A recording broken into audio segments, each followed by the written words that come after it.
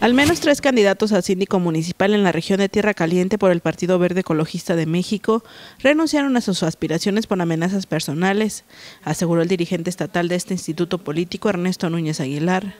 Desafortunadamente en dos o tres casos en el nivel de sindicaturas, ya lo dimos a conocer y este, lo cortito no hemos dicho municipios porque no se trata de un tema de jiribillo, grilla política, sino es un tema de preocupación real donde sí ha habido esa amenaza, pues, ¿no? Es en Tierra Caliente.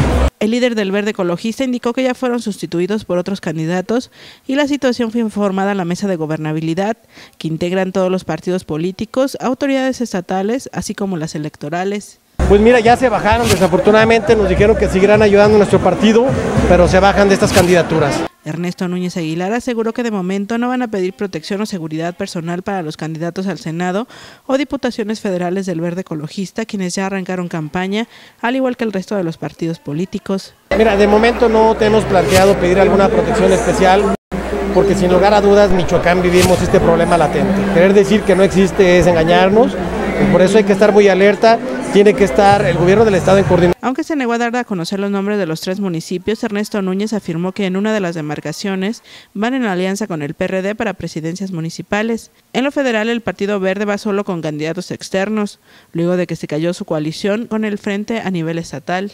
Con imágenes de Juan Errejón, Xochitl Navacruz, Notivideo.